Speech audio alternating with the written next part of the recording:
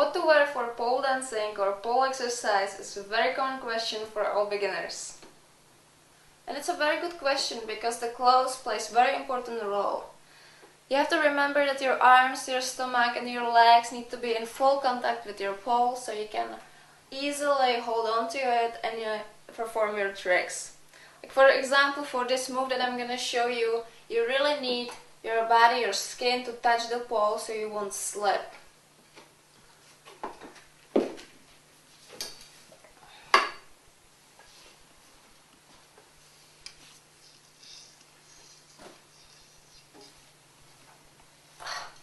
And you have to remember that you shouldn't put any kind of lotion on your body, otherwise you're gonna slip down and that can be really dangerous. So remember, uh, the less the better and no lotion on your body.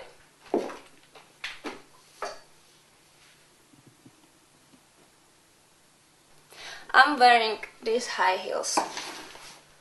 So, because these high heels kind of puts me in the mood, I feel more sexy, more self-confident. But if you don't feel comfortable with high heels, it's just perfectly fine to exercise barefoot.